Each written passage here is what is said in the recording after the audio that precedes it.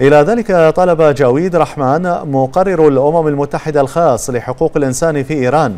طالب سلطات طهران السماح له بزيارة رسمية للاطلاع على واقع حقوق الإنسان في البلاد.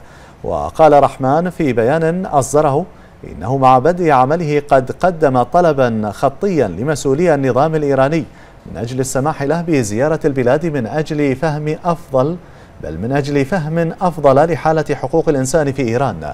يأتي طلب رحمن في ظل التقارير المتواصلة عن الانتهاكات الواسعة ضد الناشطين والصحفيين والأقليات والنساء وقمع الاحتجاجات السلمية وقتل المتظاهرين.